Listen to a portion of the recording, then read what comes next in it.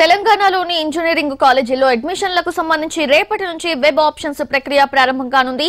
ఇప్పటి వరకు నూట ఇంజనీరింగ్ కాలేజీలకు అఫిలియేషన్ పూర్తయింది. అయితే అరోరా గ్రూప్ ఆఫ్ ఇన్స్టిట్యూట్స్తో పాటు సెయింట్ మేరీ ఇంజనీరింగ్ కాలేజెస్కు ఇంకా అనుబంధ గుర్తింపు లభించలేదు. అరోరా గ్రూప్లో మొత్తం ఐదు ఇంజనీరింగ్ కాలేజెస్ ఉన్నాయి.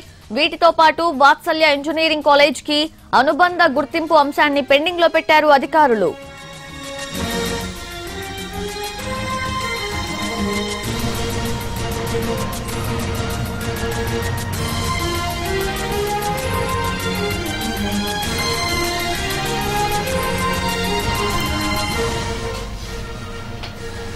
తెలంగాణలోని ఇంజనీరింగ్ కాలేజెస్లో అడ్మిషన్లకు సంబంధించి రేపటి నుంచి వెబ్ ఆప్షన్స్ ప్రక్రియ ప్రారంభం కానుంది ఇప్పటి వరకు నూట రెండు ఇంజనీరింగ్ కాలేజీలకు అఫిలియేషన్ పూర్తయింది.